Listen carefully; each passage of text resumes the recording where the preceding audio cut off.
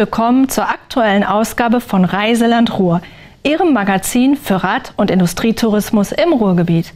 Heute sind wir unterwegs auf der Fahrradroute Stahl und Wandel. Auf etwas mehr als 30 Kilometern geht es vom Duisburger Innenhafen über Bahntrassen vorbei an alten Zechen zum Gasometer und zum Landschaftspark Duisburg Nord. Wir fliegen schon mal drüber. Viel Spaß!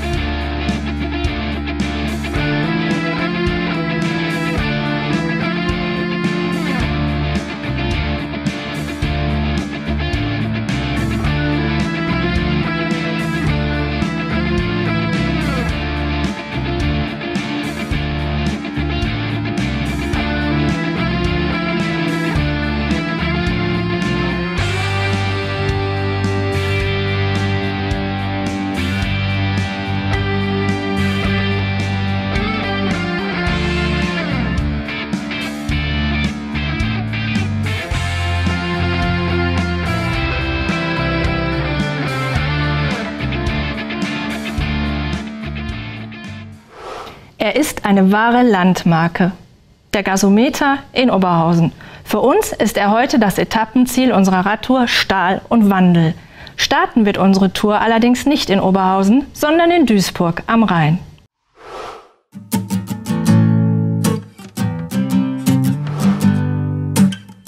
Dieser Trip wird uns an die Spitze des Matterhorns führen und weit darüber hinaus. Das muss man selber gesehen haben, das kann man überhaupt nicht beschreiben. Der Besucher erlebt Tag und Nacht, er erlebt verschiedene Jahreszeiten, er erlebt die Kletterrouten. Es ist einfach gigantisch. Noch sind wir nicht im Bergmassiv, sondern am Rhein. Stadtgebiet Duisburg, Stadtteil Beker-Wert. Vor uns liegt der erste Teil von Stahl und Wandel. Der Fahrradrundkurs ist knapp 40 Kilometer lang. Die Netto-Tourdauer für die Umrundung liegt bei circa 2 Stunden und 45 Minuten. Duisburgs berühmten Hafen lassen wir hinter uns und steuern nach Norden. Wir treffen auf den Alsumer Berg, einen 50 Meter hohen Hügel, unter dessen grüner Hülle Schutt und Kriegstrümmer liegen. Gleich nebenan unter anderem die hochmoderne Kokerei Schwelgern und das Stahlwerk Bruckhausen von ThyssenKrupp, eine prächtige Industriekulisse am Wegesrand. An ihrem nordwestlichsten Punkt biegt die Stahl- und Wandelroute ein auf die 15 Kilometer lange Hoag-Trasse und zieht nach Osten in Richtung Oberhausen. Hoag steht dabei als Abkürzung für Hüttenwerke Oberhausen Aktiengesellschaft. Die ehemalige Bahnlinie diente einst dem Kohletransport zwischen der Zeche Stärkrade in Oberhausen und dem Rheinhafen Walsum in Duisburg. 2007 wurde aus der ehemaligen Kohlelinie ein kombinierter Rad- und Wanderweg, der uns heute vorbeiführt an der bereits 33 geschlossenen Zeche Stärkrade. Von ihr sind als Industriedenkmal noch das Schachtgerüst und die Schachthalle erhalten.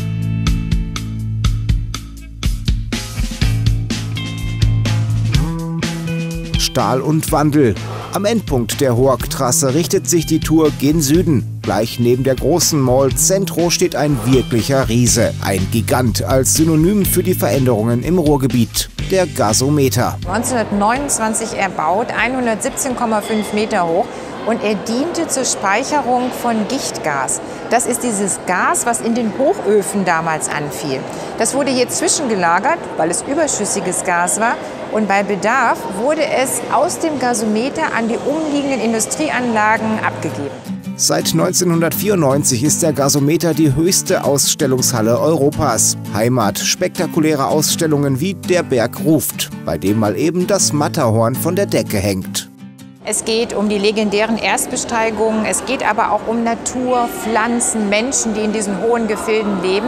Und es gibt einen gewaltigen Höhepunkt. Dieser Höhepunkt ist das Matterhorn. Eine Abbildung des Matterhorns, ein Nachbau im Maßstab 1 zu 200. Und das Besondere ist, diese Skulptur hängt umgekehrt von der Decke, spiegelt sich aber in einem riesigen Spiegel, 12 Meter Durchmesser. Und das muss man selber gesehen haben. Das kann man überhaupt nicht beschreiben. Wer frische Höhenluft schnuppern will, der Aufstieg aufs Gasometerdach lohnt allemal. Die Aussicht reicht über das komplette westliche Ruhrgebiet und lädt zum Verweilen ein. Für meinen heutigen Gast ist Radfahren nicht Freizeitvergnügen, sondern Extremsport. Herzlich willkommen, Pierre Bischof. Hallo Lina, herzlichen Dank für die Einladung. Sehr gerne. Pierre, ähm, du bist ja immer sehr viel in der Welt unterwegs. Zum Beispiel hast du 2016 das Race Across America gewonnen.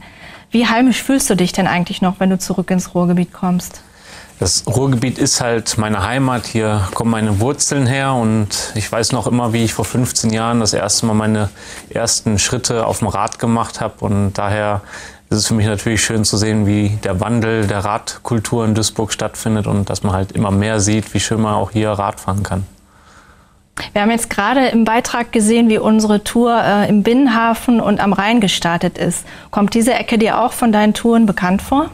Absolut. Ich habe früher am Innenhafen gearbeitet und äh, das, daher ist es halt auch ein Wegenetz, das ich kenne, weil ich früher dann immer von zu Hause zum Innenhafen geradelt bin, weil das Auto war damals schon für mich nur für Weitstrecken ein Fortbewegungsmittel. Und ich habe halt immer mehr versucht, das Radnetz auch für mich kennenzulernen. Mhm. Ähm, wir sind in unserer heutigen Tour auch auf zahlreichen ehemaligen Bahntrassen unterwegs. Vielleicht kannst du uns mal sagen, aus deiner Sicht, was bieten denn diese Radwege für den Radfahrer? Also die Bahntrassen äh, bin ich sehr dankbar für, dass man auf diese Idee gekommen ist. Das hätte ich mir früher auch nie vorstellen können, dass es eigene Radautobahnen gibt. Ich nehme an, dass wir uns da auch in Holland eine Scheibe abgeschnitten haben, dass man sieht, was die für ein Radnetz hergestellt haben. Und die Bahntrassen, die sind oftmals so gut zu befahren, dass man schneller von A nach B kommt als mit dem Auto.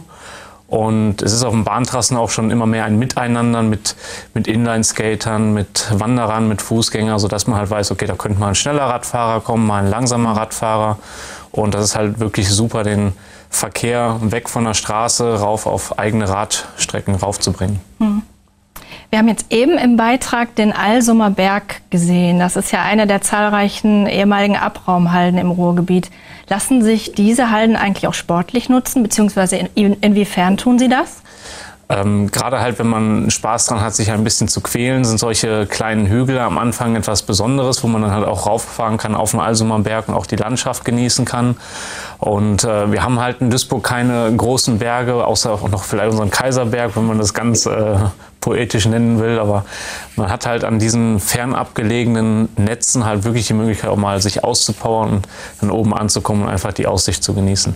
Ja, Pierre, zum Schluss habe ich dann einfach noch mal eine etwas oberlehrerhafte Frage an dich. Hast du eine Ahnung, wie viel Radkilometer der Landschaftspark Duisburg Nord zu bieten hat? Also Im Landschaftspark selber fahre ich halt immer das 24-Stunden-Rennen, kenne halt nur die 8 bis 9 Kilometer Rundkursstrecke und muss zugeben, ich bin noch nie weiter rumgefahren als diese Strecke. Und ich vermute mal, wenn ich die Zahl gleich höre, werde ich äh, selber vom Staunen fahren, wie viele kleine Wege es gibt. Ja, wir zeigen es dir dann tatsächlich im nächsten Beitrag. Erstmal schön, dass du da warst. Vielen Dank für den Besuch. Immer wieder gerne und ich hoffe, dass man immer weiter an dem Radwegnetz weiterarbeiten wird.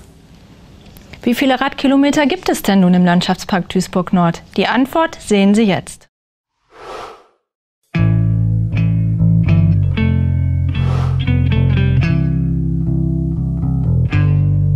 Der Landmarke Gasometer sagen wir fürs erste Adieu. Denn vor uns liegt der zweite Teil unserer Tour Stahl und Wandel. Deren Höhepunkt wird es ebenfalls in sich haben. Jeder, der herkommt, sieht laut englischem Guardian einen der zehn schönsten Parks weltweit. Unsere Route führt uns in südwestliche Richtung. Wir folgen dem insgesamt 45 Kilometer langen Rhein-Herne-Kanal auf einem Teilstück nach Duisburg. Eine kleine Fußgängerbrücke fällt uns dabei besonders ins Auge. Slinky Springs to Fame. Die Skulptur von 2010 erinnert an das Kinderspielzeug Slinky, eine wandernde Metallschraubenfeder.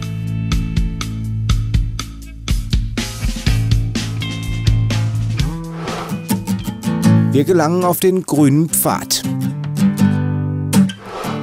mehr als 10 Kilometer lange Strecke diente einst dem Güterverkehr als Teil der Emscher Talbahn zwischen Oberhausen und Duisburg.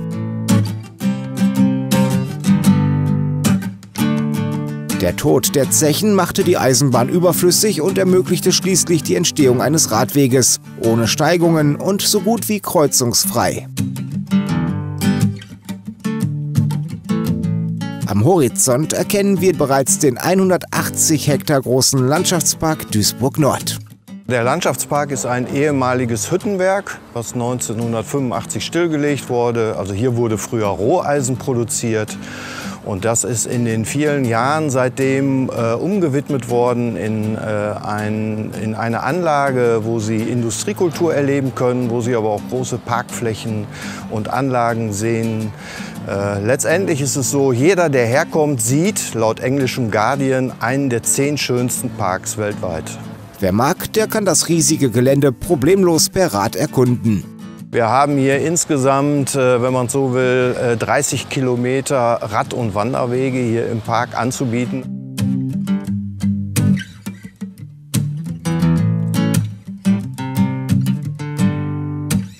Hier darf sich jeder frei bewegen, 365 Tage, 24 Stunden rund um die Uhr und äh, äh, sind viele Aktivitäten, viele Veranstaltungen, also ein bunter Strauß.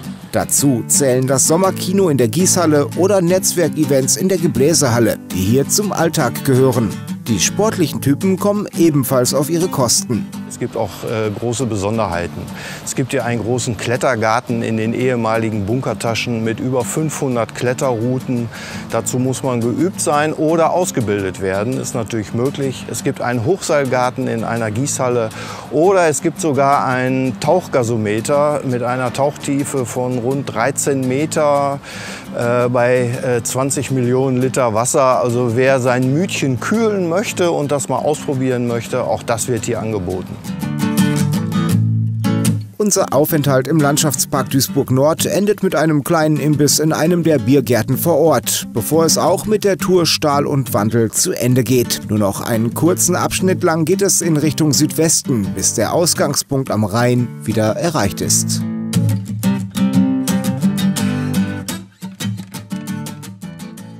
Was kann man noch erleben in Duisburg? Wir sagen es Ihnen.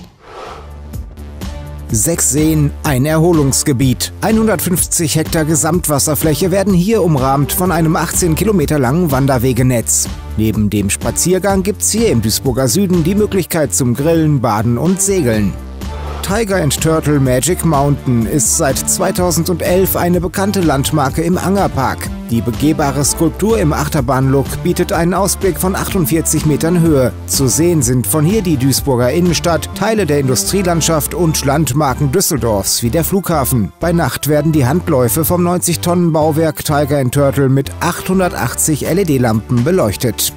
Ein Museum im alten Jugendstil-Hallenbad des Stadtteils Ruhrort.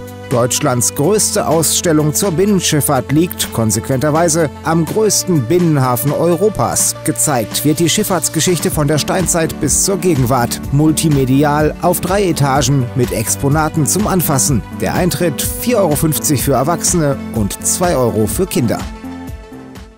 Das war die aktuelle Ausgabe von Reiseland Ruhr. Bis zum nächsten Mal. Wir freuen uns auf Sie. Tschüss.